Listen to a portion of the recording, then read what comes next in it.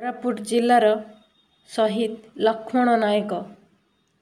ଅଠରଶହ ଅନେଶତ ମସିହା ନଭେମ୍ବର ମାସ ବାଇଶ ତାରିଖ। କୋରାପୁଟ ଜିଲ୍ଲାର ତେନ୍ତୁଳିଗୁମା ଗ୍ରାମରେ ଜନ୍ମଗ୍ରହଣ ନେଇଥିଲେ ଲକ୍ଷ୍ମଣ ନାୟକ। ପିତାଙ୍କ ନାମ ଥିଲା ପଦ୍ଲମ ନାୟକ। ଜୟପୁର ରାଜାଙ୍କର ମୁସ୍ତାଦାଫର ଥିଲେ ସେ। ପଦ୍ଲମଙ୍କର ତିନି ପୁଅ ଥିଲେ। ସେମାନଙ୍କ ମଧ୍ୟରେ ମଝିଆ ପୁଅ ଥିଲେ ଲକ୍ଷ୍ମଣ ନାୟକ। ବାର ବର୍ଷ ତଳେ ପିତାଙ୍କ ଠାରୁ ଯେତିକି ଶିଖିଥିଲେ ସେହିଆ ହେଲା ତାଙ୍କର ପାଠପଢ଼ା।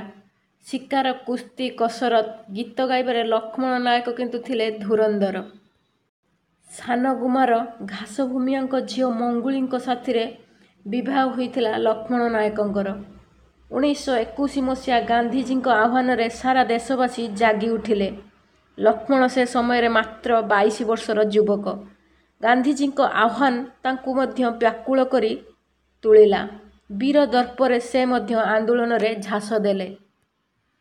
ଆଦିବାସୀମାନଙ୍କୁ ନେଇ ବିଦ୍ରୋହ ଆରମ୍ଭ କଲେ। ଇଂରେଜ ସରକାରଙ୍କ ବିରୁଦ୍ଧରେ ସ୍ୱର ଉତ୍ତୋଳନ କଲେ ଲକ୍ଷ୍ମଣ ନାୟକ। ମନେ ମନେ ସ୍ଥିର କଲେ ଏଥିପାଇଁ ସଶସ୍ତ୍ର ବିପ୍ଳବ ଆରମ୍ଭ କରିବେ।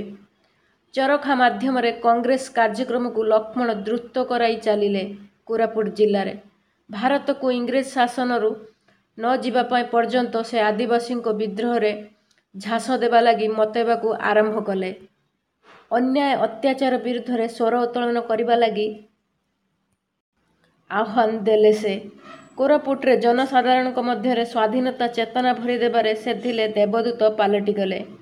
ହାତରେ ତିରଙ୍ଗା ପତାକା କାନ୍ଧରେ ଝୁଲା ବ୍ୟାଗ୍ କୋରାପୁଟର ବଣ ପାହାଡ଼ ଘେରା ଅଞ୍ଚଳରେ ଘୁରି ଘୁରି ଅସହଯୋଗର ବାର୍ତ୍ତା ପ୍ରଚାର କରିବାକୁ ଲାଗିଲେ ଲକ୍ଷ୍ମଣ ନାୟକ। ଫଳରେ ଇଂରେଜ ସରକାର ଲକ୍ଷ୍ମଣ ନାୟକଙ୍କୁ ରାଜଦ୍ରୋହୀ ଭାବରେ ଘୋଷଣା କଲେ। ଲକ୍ଷ୍ମଣଙ୍କର ସମ୍ପତ୍ତି ସମସ୍ତ ବାଜ୍ୟାପ୍ତ କରାଗଲା।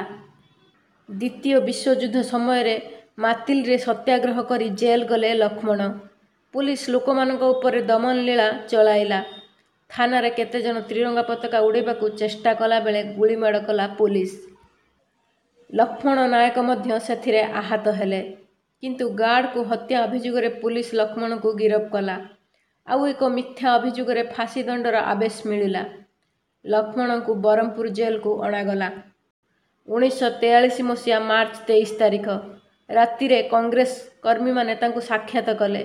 ଲକ୍ଷ୍ମଣ କହିଥିଲେ ମୋ ଜୀବନରେ କିଛି କରିପାରିଲିନି। ସ୍ୱରାଜ ପାଇଁ ସମସ୍ତେ ଲଢ଼ୁଥିଲେ। ସ୍ୱରାଜ ନ ଦେଖି ଚାଲି ଯାଇଥିବାରୁ ମୋ ମନରେ ଦୁଃଖ ରହିଗଲା। ମାର୍ଚ୍ଚ ଅଣତିରିଶ ତାରିଖ। ଭୋର ପାଞ୍ଚଟା ବେଳେ ଲକ୍ଷ୍ମଣ ନାୟକଙ୍କୁ ଫାଶୀ ଖୁଣ୍ଡରେ ଝୁଲାଇ ଦିଆଗଲା।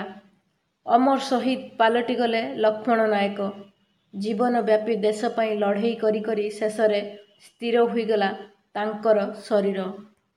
କିନ୍ତୁ ଅମର ରହିଗଲେ ସବୁଦିନ ପାଇଁ ସମସ୍ତଙ୍କ ହୃଦୟ ଆଉ ମନରେ।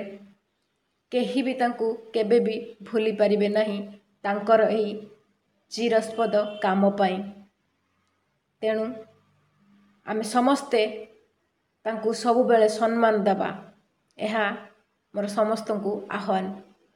ଫ୍ରେଣ୍ଡସ୍ ଆଶା କରୁଛି ଶହୀଦ ଲକ୍ଷ୍ମଣ ନାୟକଙ୍କ ଉପରେ ଏହି ଟପିକ୍ଟି ଆପଣମାନଙ୍କୁ ଭଲ ଲାଗିଥିବ। ରହୁଛି। ନମସ୍କାର।